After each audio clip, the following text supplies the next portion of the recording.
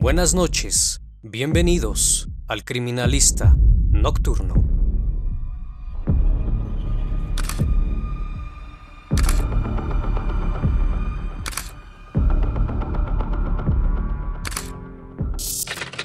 Hola a todos, sean bienvenidos a una emisión más del Criminalista Nocturno. Espero que se encuentren muy bien. Gracias por sintonizar este canal donde quiera que se encuentren. Esta noche seguimos tras la pista de Chris Watts. Apaguen la luz, que la función debe comenzar.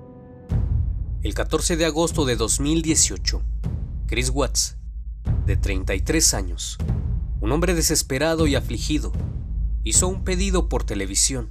Pidió que encontraran a su esposa embarazada y a sus dos hijas desaparecidas, de 4 y 3 años de edad. Después de que las tres fueran reportadas como desaparecidas, aquel hombre daba la entrevista sin mostrar ninguna emoción, debido al shock, dado que su familia ahora se encontraba desaparecida. Mencionó con voz entrecortada en la entrevista. La llamé tres veces. Le mandé varios mensajes de texto. Quiero desesperadamente que vuelvan. Es horrible. Ojalá alguien la haya visto.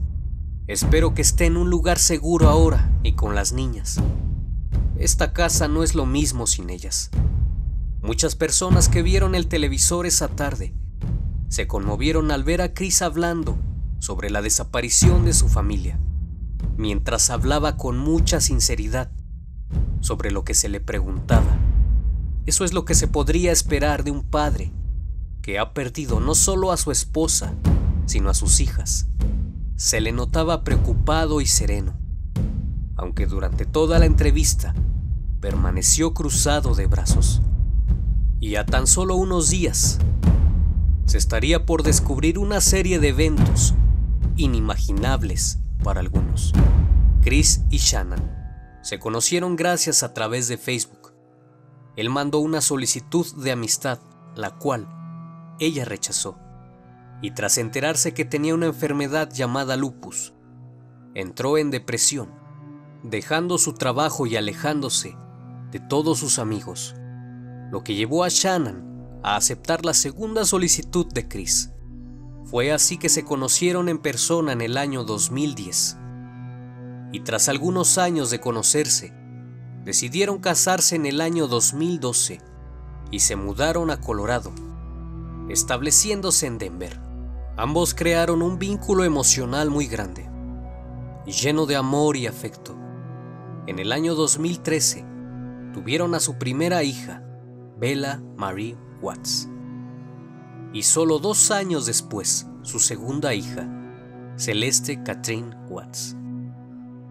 Aquella familia de cuatro aparentaba ser la más feliz en esos momentos. Cualquiera que tuviera la oportunidad de verlos podría creer que eran la familia perfecta, llena de amor y respeto. Shannon se encontraba muy agradecida con Chris, porque había sentido que la rescató y la comprendió en su peor momento.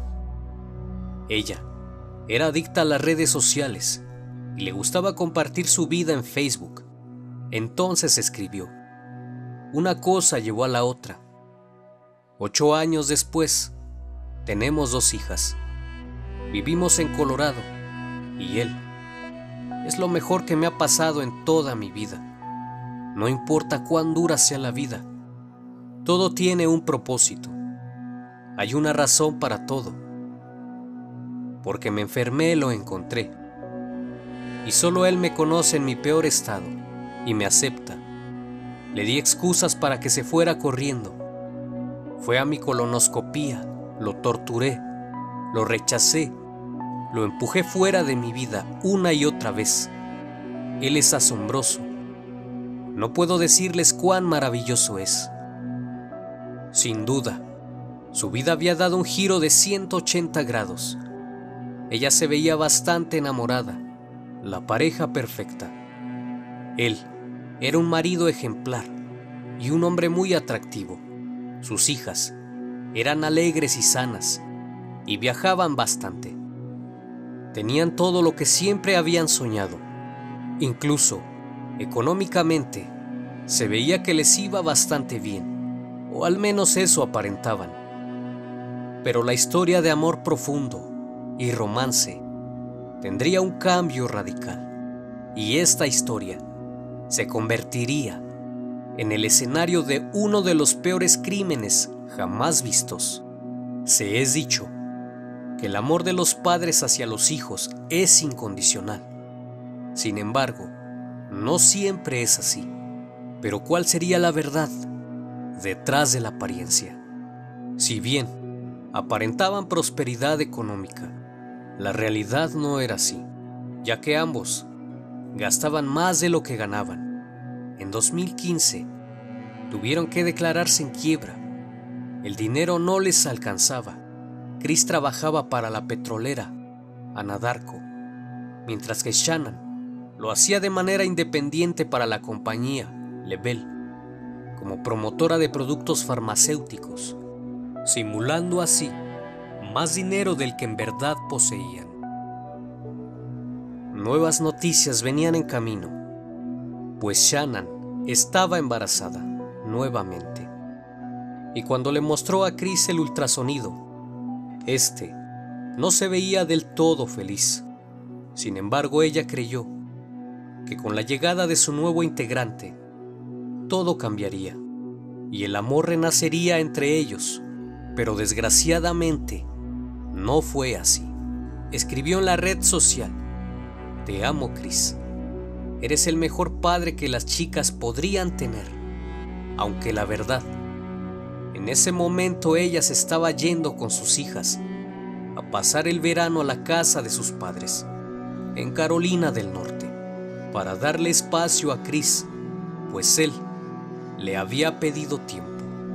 Ella lo extrañaba demasiado y puso por escrito cuánto lo extrañaba, diciéndole que le daría su espacio, reprochándole que mientras siga viviendo una vida como si fuese soltero, las cosas no cambiarían. La noche del 5 de agosto, nuevamente le escribió que lo echaba de menos, que extrañaba todos los momentos con él. Además mencionó que no podía esperar a celebrar los ocho años que llevaban juntos, y que si él ya no la amaba o no sentía nada por ella, simplemente se lo dijera. Lo que no sabía es que Chris tenía otros planes, los cuales había planeado desde hace tiempo, y su rechazo y la falta de amor tendrían otra explicación. El 7 de agosto volvieron de su viaje al regresar, ella quería reconquistarlo, pero se llevó la gran sorpresa de que él había tirado a la basura un libro que ella le había regalado. Ella lo cuestionó diciendo que tenía una amante. Efectivamente, él ya no sentía nada por ella, pues tenía un amante, quien era conocida como Nicole, de 30 años compañera de trabajo de Chris, con quien llevaba saliendo tres meses. Tiempo después, ella mencionó en una entrevista que Chris parecía buen hombre y que siempre portaba su anillo de casado, y se veía que era un padre amoroso con sus hijas. Él le mencionó que estaba en proceso de divorcio y por eso aceptó salir con él. Lo que ella no sabía es que él tenía otros planes, pues durante las investigaciones pudieron encontrar diferentes búsquedas en Internet relacionadas con vestidos de novia, alhajas, destinos turísticos, entre otras cosas. Se citó, el hombre con el que estoy teniendo una aventura dice que dejará a su esposa o casarse con su amante, pero la más resaltable tras la investigación fue cuánto dinero ganó Amber Frey con su libro sobre su amante, que había asesinado a su esposa embarazada en 2004. Pero ¿quién se llevaría a las hijas y esposa de Chris? Tal vez su amante, quien quería tener la plena seguridad de que Chris dejaría a su esposa. O quizás Chris decidió terminar la relación y ella simplemente se fue. Los hechos ocurrieron así. Presta atención y te darás cuenta del por qué es considerado uno de los peores crímenes en Colorado. La noche del domingo 12 de agosto de 2018, Shannon Watts volvió de trabajar junto con su amiga, Nicole Uthoff. Partieron desde el aeropuerto en un taxi y la dejó en la puerta de su casa a la 1.48 de la madrugada del 13 de agosto. Quedaron en hablarse por la mañana, ya que la acompañaría a su cita con el obstetra, pues tenía una cita a las 10 para un ultrasonido y ver los avances de su embarazo. Y tras varios intentos, esa mañana, Shannon no contestaba, lo cual alarmó a su compañera quien decidió acudir directamente a su casa para ver qué ocurría.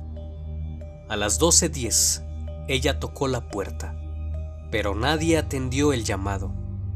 Entonces se percató que en la entrada se encontraban los zapatos de Shannon, lo cual le pareció muy raro, y decidió llamar a Chris al trabajo. Y curiosamente, él le pidió que no llamara a nadie. Sin embargo, esto no parecía normal y decidió llamar a la policía. Cuando Chris estaba llegando en su auto, atendió el llamado de un oficial que le avisaba que quería entrar a su casa. Chris le pidió que esperara, que él estaba ya muy cerca y les abriría. Le abrió la puerta a la policía. Sin embargo, dijo no saber dónde estaba su esposa. Sugirió que ella podría haber abandonado la casa debido a que se iban a divorciar. Mientras la policía miraba el garage, ya que Nicole señaló que en su auto se encontraban las sillas de las niñas en la parte de atrás. Chris Watts aprovechó la distracción y entró a su casa. Antes de abrirles la puerta principal, dispuso de dos minutos en los que se apuró para hacer algo que nadie supo que fue. Al abrir la puerta, no había señal alguna de su esposa e hijas. Únicamente se encontraba el perro de la familia. Sin embargo, la conducta de él era bastante extraña. Miraba todo el tiempo su teléfono, mientras el oficial le hacía preguntas, y deslizó la idea de que ella se podía haber ido por su propia voluntad porque las mantas de Celeste y Vela no estaban en sus cuartos, pues aseguró que sus hijas no iban a ningún lado sin ellas. Al interior no había nada extraño. Lo más relevante encontrado fueron sus llaves, su cartera, la vajilla con la que había regresado de su viaje, además de que la cama no tenía puestas las sábanas blancas. Watts negó su participación en la desaparición de su esposa e hijas, e incluso habló con una estación de noticias locales sobre la desaparición de su familia.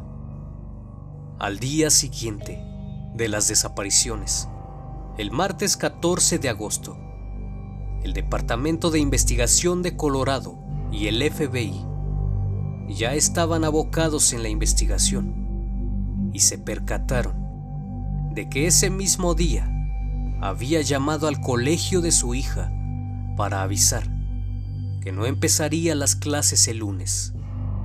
También llamó a una inmobiliaria para poner su casa en venta y había hablado varias veces con su amante, por lo cual fue llamado a declarar debido a las inconsistencias en los interrogatorios y tras fallar la prueba del polígrafo, pidió hablar con su padre para confesarle lo sucedido. Le contó su primera versión de los hechos. Aquí, la historia cambiaría profundamente, tendría un cambio radical. En su versión de los hechos, menciona que le había dicho a Shannon que quería divorciarse.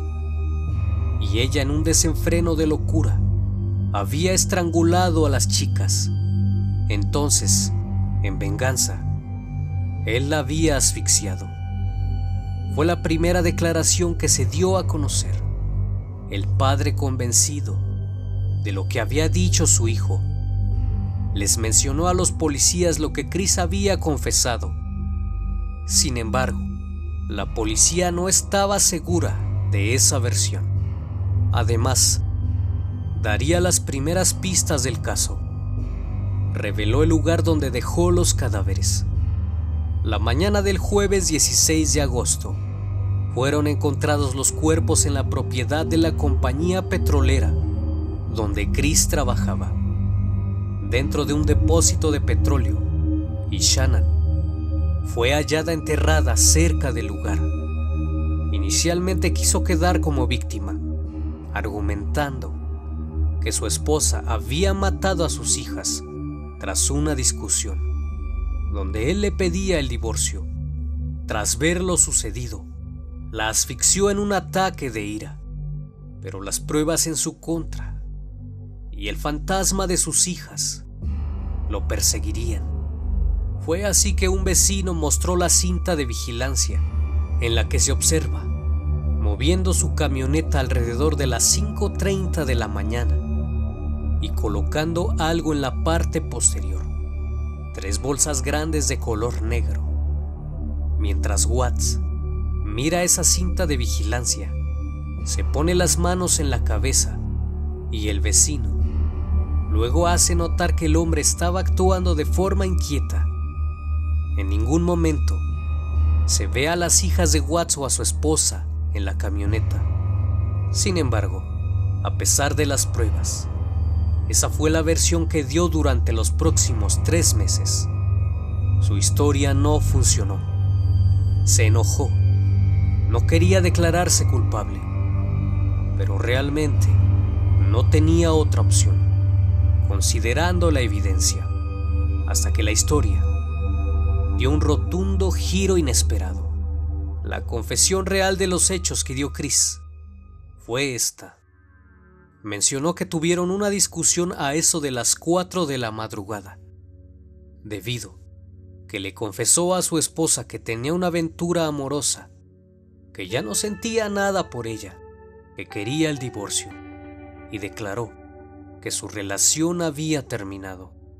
Entonces ella mencionó, bueno, entonces no volverás a ver a las niñas.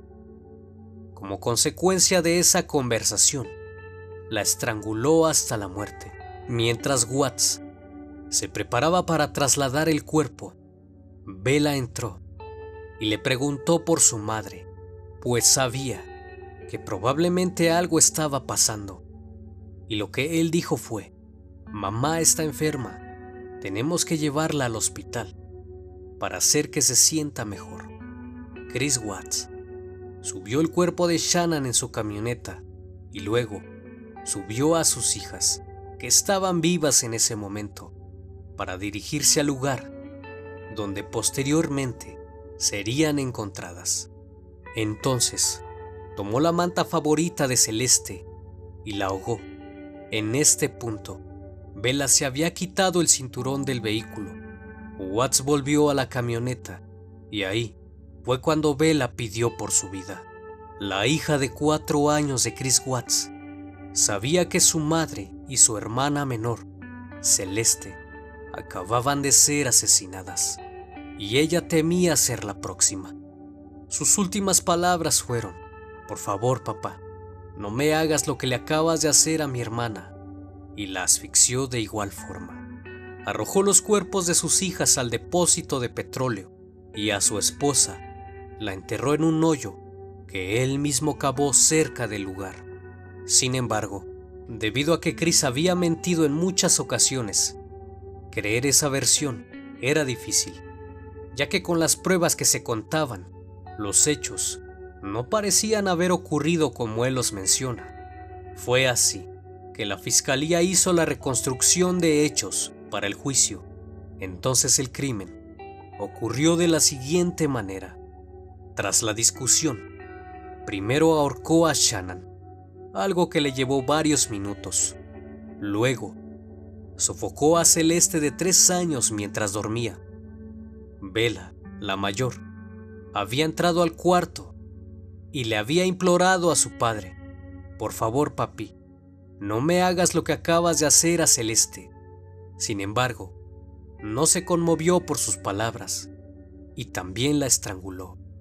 Vela se resistió con todas sus fuerzas, al punto de morderse varias veces la lengua. El fiscal explicó que le tomó alrededor de dos a cuatro minutos con cada víctima para poder asfixiarlas. Posterior a eso, siguió con su plan y dispuso los cuerpos en su camioneta en tres viajes consecutivos, evitando pasar por donde sabía que había cámaras de vigilancia de los vecinos.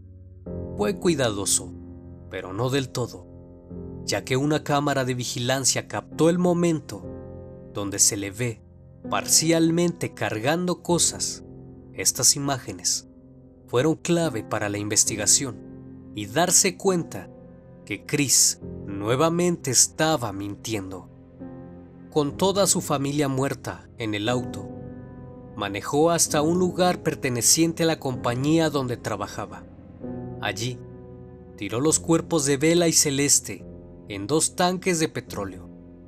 Los introdujo por una pequeña abertura superior y las dejó caer en el petróleo crudo. Para llevar a cabo esto, según concluyeron los peritos forenses, tuvieron que ejercer bastante fuerza para que los cuerpos pasaran por el orificio, ya que era muy pequeño. Pero tenía un problema. Shannon no pasaría por esos agujeros, debido a su tamaño. Fue así que decidió enterrarla. Cavó una fosa superficial al lado de uno de esos depósitos de petróleo. Cuando encontraron los cuerpos, hallaron también una sábana blanca. Era una de las sábanas que faltaban en la cama de los Watts y que anteriormente, tras la visita a su casa, no se encontraba. Otra versión señala que primero intentó asfixiar a las chicas y luego procedió a hacerlo con Shannon, pero las chicas solo estaban desmayadas y habrían vuelto en sí y lo descubrieron con el cuerpo de su madre envuelto en una sábana. Entonces él les dijo que Shannon estaba enferma y la subió al auto para terminar ahorcándolas. La verdad de los hechos, únicamente él la conoce. Lo cierto es que los asesinatos no los realizó por impulso debido a la discusión, sino que fueron planificados. No hay duda de que Watts Quería recomenzar su vida desde cero, a costa de lo que fuera. Incluso la vida de sus hijas no lo detuvo. Ahora es considerado como el monstruo de Denver. Hubo un rumor donde se menciona que no solo fue el deseo de tener libertad y casarse con su amante lo que llevó a Chris a cometer el crimen, sino que además se rumora de un romance homosexual que llegó a los medios por medio de una aplicación donde había conocido a un enfermero de 28 años, quien dijo a la policía haber tenido relaciones con Watts, que habría durado poco más de 10 meses en 2018. Después de llegar a un acuerdo, el 6 de noviembre de 2018, Chris Watts se declaró culpable en la corte y fue sentenciado a cinco cadenas perpetuas sin posibilidad de libertad condicional. Lo enviaron al correccional de Dodge, en Wisconsin. La pena de muerte no estaba sobre la mesa porque la familia de Shannon no deseaba pasar por un juicio. Un caso sin duda monstruoso y devastador. Nadie podría imaginarse el desenlace de esta historia, donde parecía la familia perfecta, pero en el fondo terminaría con un trágico final haciéndonos pensar cómo es que un padre tiene las agallas de matar a sus propios hijos y no mostrar remordimiento alguno con tal de satisfacer sus intereses y deseos. Como siempre, gracias por estar aquí. Si el video te gustó, no olvides dejar tu like y si eres nuevo, sé bienvenido. Esto fue el criminalista nocturno. Nos vemos pronto.